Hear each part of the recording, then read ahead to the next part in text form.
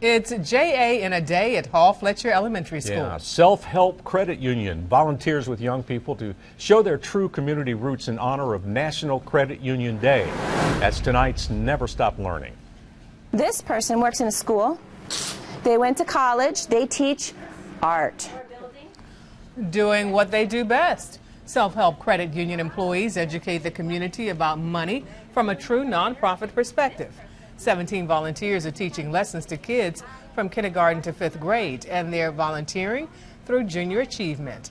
You can see employees working with youth on financial literacy, workforce readiness, and entrepreneurship.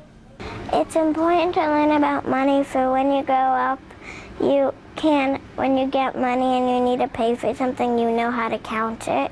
You can never learn about money at too young of an age. Um, it builds a great foundation in regards to saving and planning for the future. The curriculum is all age appropriate, very interactive, and it just gets the kids started off on the right foot.